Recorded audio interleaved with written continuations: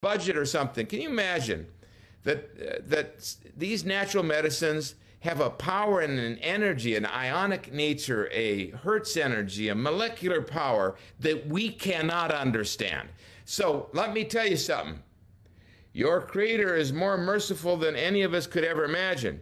He didn't put us here just willy nilly.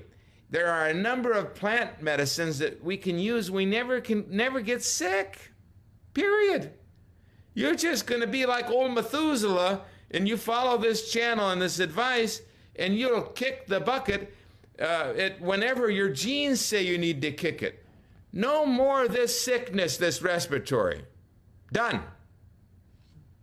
I mean it.